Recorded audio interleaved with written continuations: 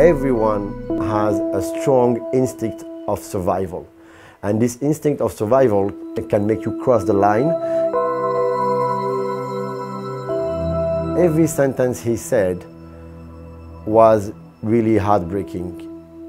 Even after selling his organ, he ended up with nothing. I never had my family decimated. I never had like, you know, my house destroyed.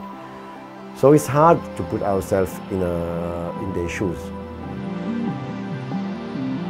It's very easy to judge someone who says, oh, he sold his kidney for his trip to Europe, or he sold his kidney to, uh, to have a shelter or something like this. What will you do if you are in extreme needs and there is no way you can, uh, you can provide food, shelter, not only for you but also for your family? Uh, I heard him like, you know, speaking to his uh, little boy and he was telling him, if I die, you have to take care of your family. If, uh, if I disappear, you have to take care of the family. You are like, look what people experience. And there's not even a room for complaining.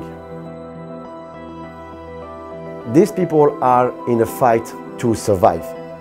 The people who buy organ are in a fight to live.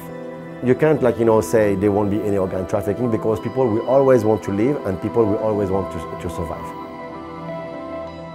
the sense of sacrifice. People do things not only for them, but for the people they love, for the people they care, for the people they are responsible for.